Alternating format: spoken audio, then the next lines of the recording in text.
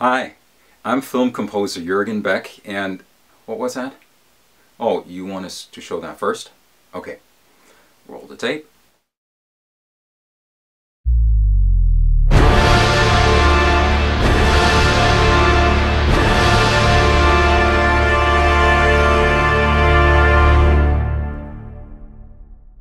Well, now that you know what a film composer does, guess what we'll talk about at the CMA convention? Exactly. Working with a professional composer. I hope to see you there and we'll have a lot of fun. Thank you.